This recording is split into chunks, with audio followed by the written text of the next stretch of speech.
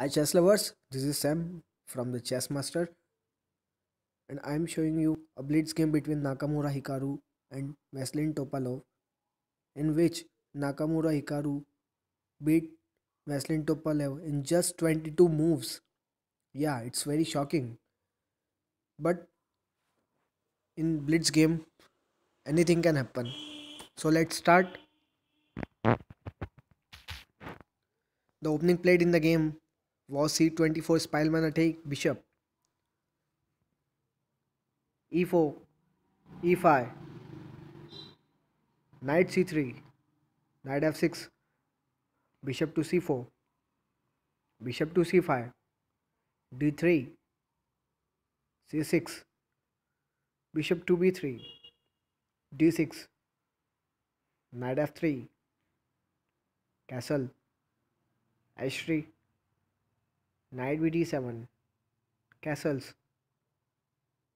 Bishop to b6 e3 knight to c5 bishop to a2 knight to e6 knight to e2 rook to e8 bishop to e3 bishop takes e3 f takes e3 queen to c7 and now an h4 queen d7 d8 knight f3 bishop to d7 and knight g3 g6 and now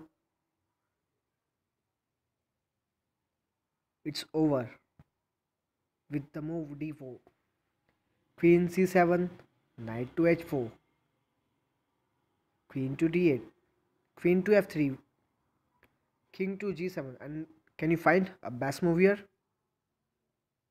Yeah it is knight h fi check. G takes fi knight takes fi check. King to g6 and now it's over. Bishop takes e6 and it's over. If it takes with the bishop then queen check king to h5 queen h4 check king to g6 and queen h6 mate so it was a beautiful game between Nakamura Hikaru and Topalov Vasilin. It was a blitz game. I hope you enjoyed. Keep enjoying. Keep watching. Chess Master. Thank you. Bye bye.